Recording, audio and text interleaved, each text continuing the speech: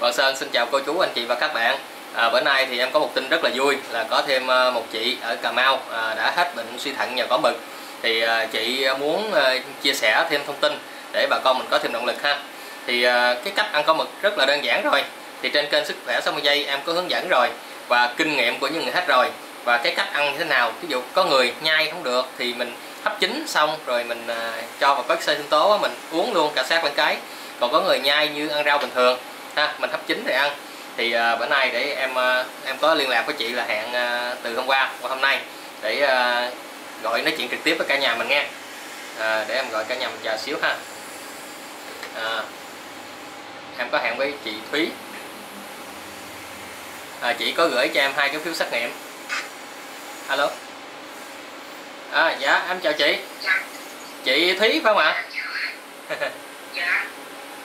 à, chị ở Cà Mau hay đâu chị? Hậu Giang. À, nãy em tưởng chị Cà Mau em quên. À, à, hôm bữa trước á, chị có gọi em là nói là hết bệnh suy thận nhờ có mực. À, rất là mừng. Thì chị muốn chia sẻ cùng cả nhà để lấy thêm động lực đó. Thì hôm nay em xin phép là được phép gọi cuộc gọi này ghi hình lại ha chị? Để chia sẻ cùng cả nhà nghe. Dạ, dạ.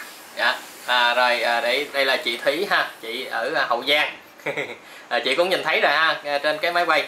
Dạ à, chị chia sẻ cái à, kinh nghiệm của mình hết bệnh à, suy thận nhờ có mực đó chị. Chị ăn lâu chưa? Ừ, em ờ, đi khám thì ờ, đi khám thì em về là em lên mạng em coi cái là em thấy của anh là vừa về bữa sau là em ăn luôn là đúng uh, 25 ngày anh. Dạ 25 ngày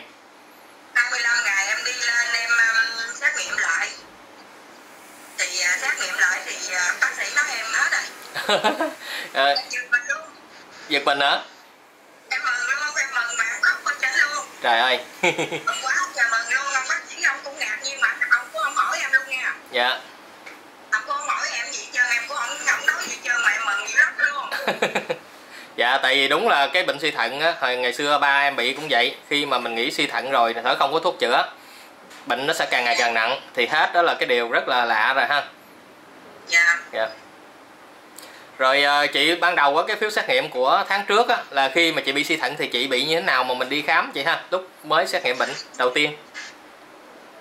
Em thì ờ, thì lúc em đi khám ở quê em á cái bác sĩ nói em ờ, suy thận nhẹ nha. Dạ. Đó đi tra lại đi lên tuyến trên kiểm tra lại đi. Dạ. Thì nói chị em cũng tính tao là thận bình thường em đâu biết gì đâu.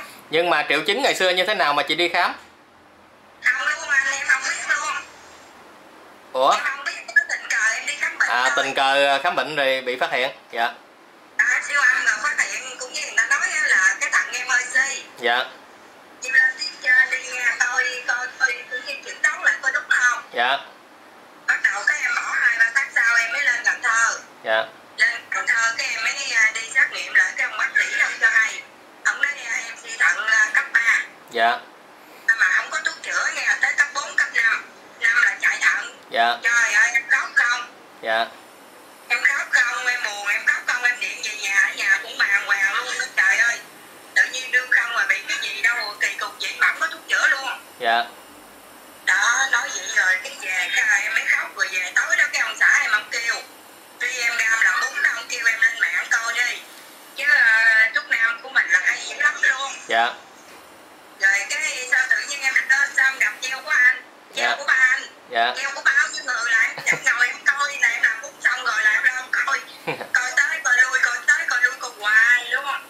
dạ. Cái, động lực nha. Em coi rồi cái động lực em dữ lắm mặt luôn là em tin tưởng con mực dữ lắm luôn dạ. Bắt đầu là từ đó tới sau là em mới coi rồi là em mới uống. Em mới uống cho em ăn không được anh ơi. Uống là chị uống sao chị ha? Ừm, em à, lấy nguyên thân cây dạ. Em lấy nguyên thân cây cái em cắt ra. Dạ. Cái em chân em chân cắt tỉ dạ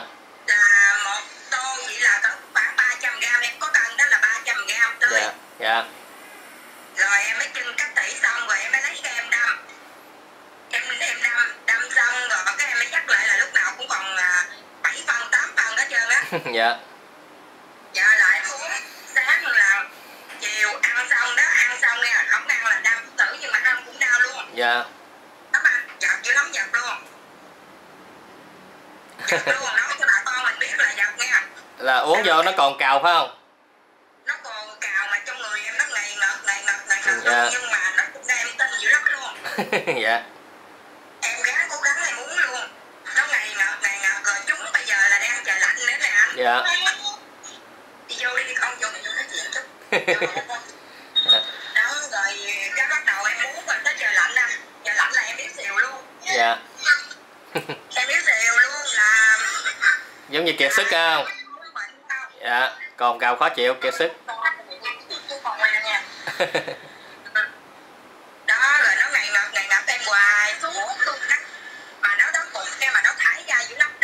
dạ.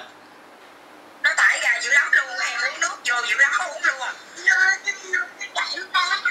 còn đi ra như vậy con chịu chứ chút chút còn ngoan mình còn biết đường bé vậy? Hả ai nhắm sinh đôi của em? À, dạ xin đôi luôn. Trời ơi. Dạ. Chúc mừng chị. Dạ. Rồi ngày ngập ngày ngập dữ lắm luôn. Trời lạnh này là nói chung ra là con người là siêu à. Dạ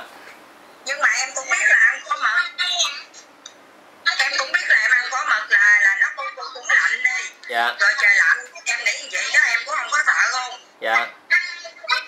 Rồi em ăn thì em cũng kiên cử lắm nha. Dạ. Kiên cử chế độ ăn uống phải không? Dạ. Dạ. Em không có dám ăn rồi nước đá em cũng không dám uống luôn em sợ lắm. Dạ. Dạ rồi ờ, em uống tầm 25 ngày. Bác sĩ cho em là 28 ngày. Dạ. nhưng mà em cũng nóng ruột nữa dạ. Nóng ruột nữa 25 ngày à. 25 ngày là em đi lại rồi. Dạ đi lên chấm xét nghiệm mà trong đầu em nghĩ á nếu mà em có bớt á thì à, em nghĩ là em bớt phần nào vậy đó. Dạ. Không ngờ lên bác sĩ nói em hết trơn này ngạc nhiên không? Dạ rồi đường. Đường của em là 70 mà giờ cũng còn có 45 luôn. Trời ơi anh ơi. Em nói à, lúc đó em dở quà hết trơn em mừng nha. Dạ. Em vừa mừng mà em vừa khóc luôn. Dạ. Mừng dữ dằn luôn. Em nguyện hồi em nguyện hồi cái lúc mà em ăn có mực á. Dạ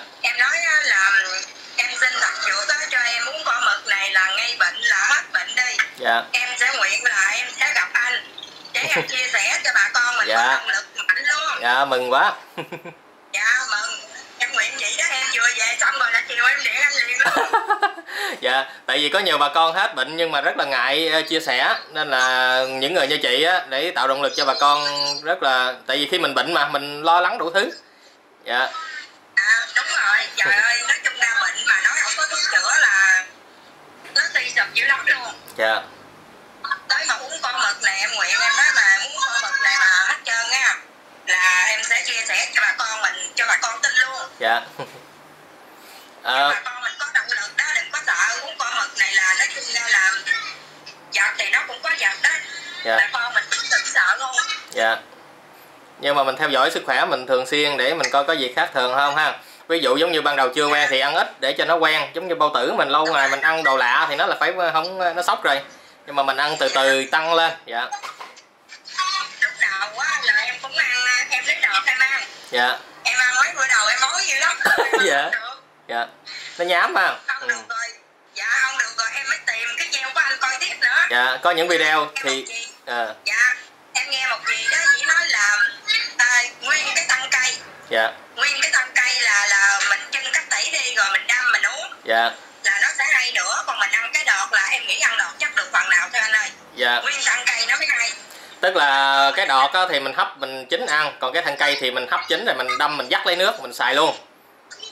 Em làm luôn em làm Dạ. luôn là vừa vừa vừa vừa vừa đọt. Dạ. Vừa đọt mà vừa cây vừa thân rồi hết trơn luôn là chung luôn. Dạ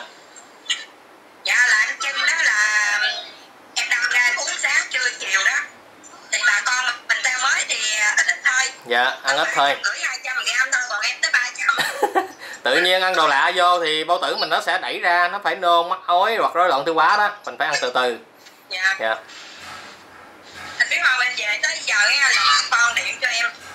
Dòng họ điện cho em là em tắt tiếng hết trơn luôn. Kể hả? Em tắt tiếng hết trơn luôn ngày hôm qua nay em hẹn anh rồi á là em em gán nó uống gán ra mà ngậm kẹo đầu vô lần em nói chuyện với anh cho nó mình dạ à, chị á, thì nói hôm bữa đó tối hẹn để à, quay chia sẻ cùng cả nhà nhưng mà bà con gọi tới cái mừng quá kể tắt tiếng hẹn em hai ngày nay là mới mới được gọi được gặp nè. Ở mà chị làm lò bún hay sao? Chị làm lò bún hả? Em nôn lắm em nôn là gặp anh là chia sẻ cho bà con mà. Dạ chị làm lò bún phải không? Dạ Chị- làm à, tại vì hôm bữa chị nói à, quay khoảng à, 8 giờ tối với 9 giờ chị bắt đầu làm bún bán. Dạ. Dạ. Bởi vì bữa nay em cũng ờ, hơi rảnh nè bữa nay em làm rồi rồi ờ, khỏe rồi. Chưa 11 giờ là em vô làm đó thành ra là em điện anh liền chút này dạ. Chị chắc cũng à, ngoài 30 nè ha. Dạ em em em tới tuổi rồi ơi. Dạ em năm nay 38 tuổi rồi 38 ha. Tại vì em ờ, thật sự là rất ngại nói tuổi của bà con trên đây. Nhưng mà ý nói để bà con mình nhắm chừng những người bệnh như thế nào cho nó chính xác nên xin lỗi chị về cái tuổi nha. Dạ. Dạ. Dạ. chị ở thành phố hậu giang hay ở đâu? Hay ở tỉnh. Dạ. Chị ở thành phố. Thành phố luôn hả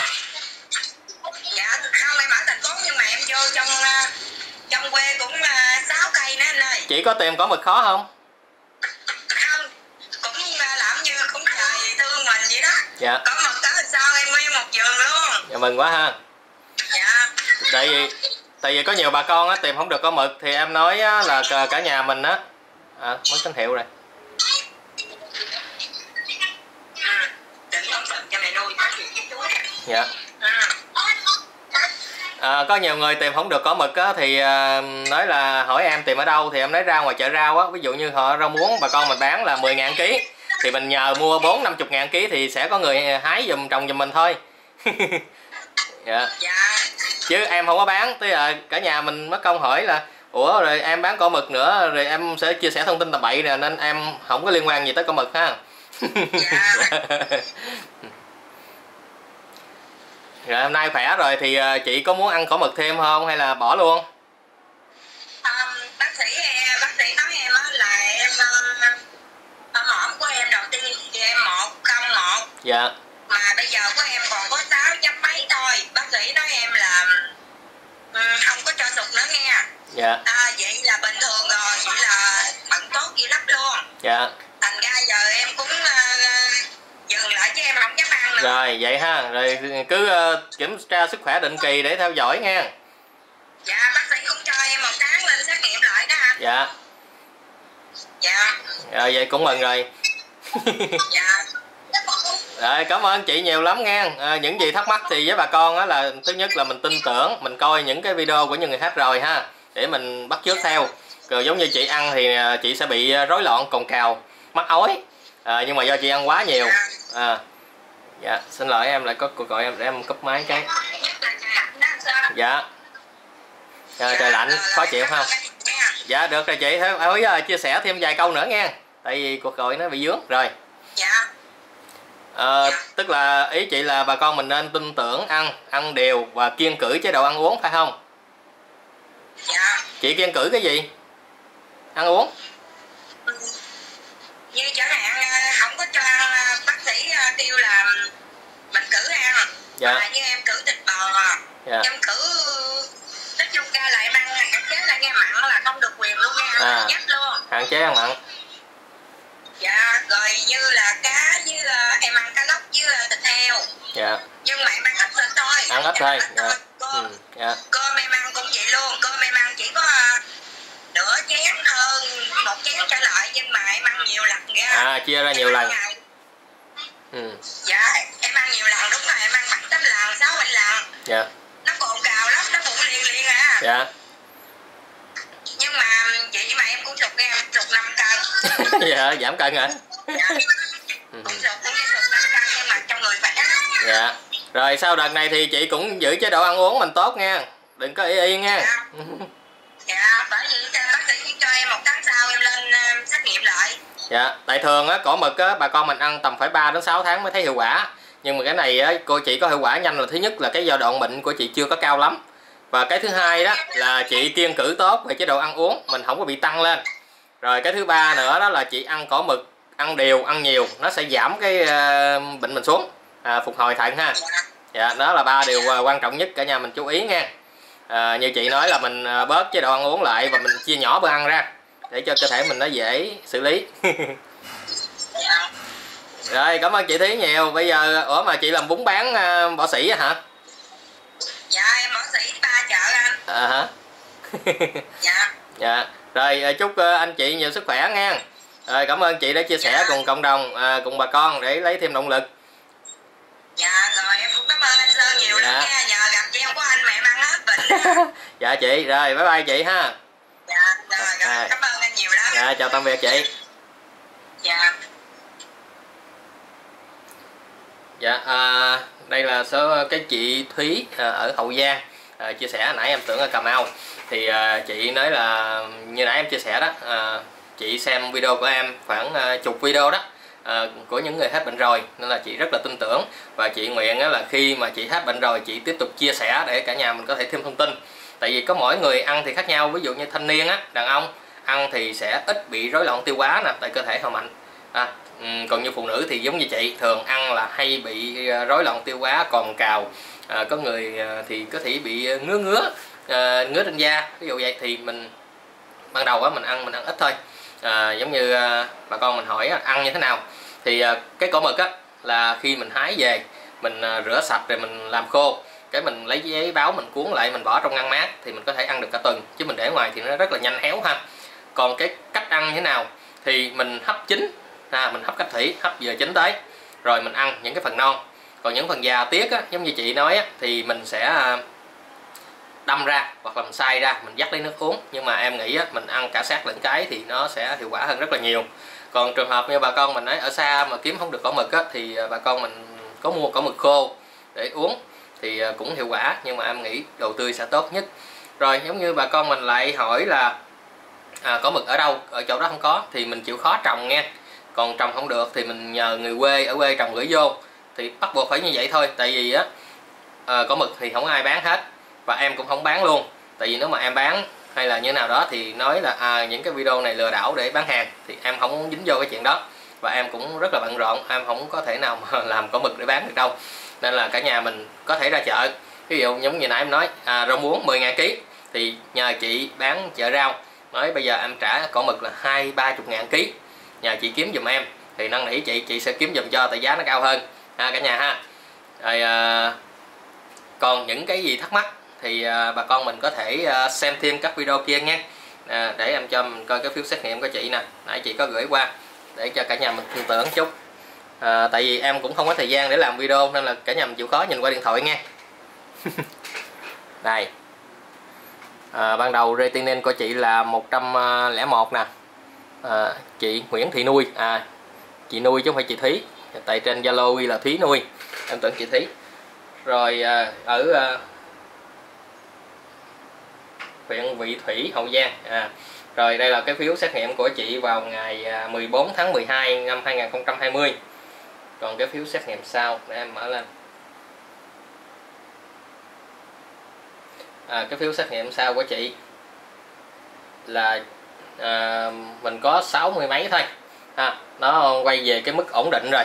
À, của retinol ha vào ngày à, hai ngày 8 tháng 1 năm 2021 à, cũng mới giờ thức thì luôn ha. Phiếu xét nghiệm chị Nguyễn Thị Nuôi ở Hậu Giang nè. Rồi. À, hôm nay thì à, Hoàng Sơn chia sẻ với cả nhà mình à, vài thông tin. Rồi cảm ơn cả nhà mình đã theo dõi nha à, và nhớ à, xem thêm những video cũ. Tại thực sự là em em rất là bận rộn nên là à, hàng ngàn người à, hàng chục ngàn người luôn. Gọi điện em thì em không thể nào tiếp điện thoại được tại em còn rất là nhiều công việc của em nữa. Đó nên là em không thể nào mà bắt điện thoại liên tục. Anh chị nãy thấy không? Khi mà đang nói chuyện thì có rất là nhiều cuộc gọi vô em phải tạm thời cúp để nói chuyện với bà con mình. Đó. Rồi à, thật sự á, nếu mà như bà con mình hết thì có thể gọi điện trực tiếp với Hoàng Sơn để chia sẻ thêm tạo động lực. Hoặc là sau khi xem video rồi những video rồi có gì thắc mắc gọi cho em nghe. Số điện thoại thì em để trong kênh sức khỏe 60 giây rất là nhiều luôn mình có thể thấy dễ dàng. À, rồi cảm ơn cả nhà mình rất là nhiều. Chúc bà con mình năm mới nhiều sức khỏe. À, suy thận thì nó thuốc tây chữa không hết. Chỉ có cái là mình dừng chế độ ăn uống lại để cho bệnh mình nó đừng tăng nặng ha. Bác sĩ tây y dặn như thế nào theo y chang nha chế độ ăn uống à, rồi à, kiêng cử hay là à, thuốc men huyết áp như nào đó mình phải theo y chang để cho bệnh mình nó đừng có tăng nặng thêm. Sau đó mình ăn khổ mực để phục hồi. Thì à, bà con mình hỏi là bao lâu hết? Thì thường á đối với tùy theo bệnh tùy theo thể trạng mỗi người trung bình thì tầm 3 đến 6 tháng thì mình sẽ thấy kết quả rất là rõ rệt. Còn giống như chị chị nuôi chị Thúy nuôi nãy à, thì à, chị có trong vòng một tháng. Do thứ nhất là bệnh của chị nhẹ thứ hai chị kiên cử rất là tốt. Và cái thứ ba chị là ăn ờ, uh, kiên rất là uh, tức là rất là nghiêm túc về cái chuyện có mực. À, ăn uống điều độ và đầy đủ nhiều. Rồi à, hẹn gặp lại cả nhà mình nghe à, tạm biệt và nhớ đăng ký kênh để uh, theo dõi cập nhật những video tiếp theo. Rồi chào cả nhà.